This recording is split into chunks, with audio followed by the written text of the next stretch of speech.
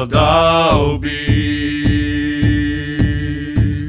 Nek de bas holding on Nek au kau gagi. Yo lil me da wagino Kena witiga. Nio na kisalawi hodau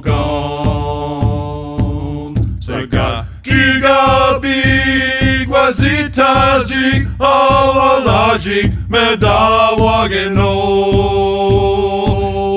Aya mi hamek oskidami winoak Alim agwani awalaji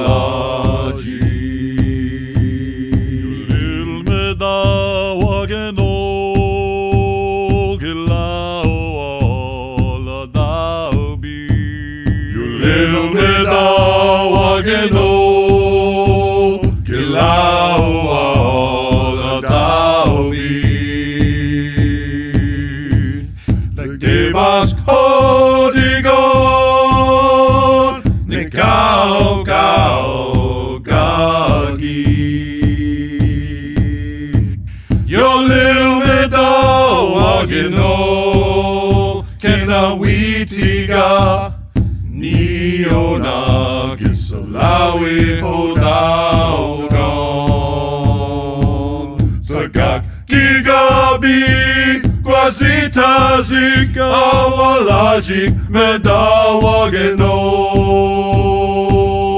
I am Nihamek Oskidami Winoak Alim Agwani Awalajik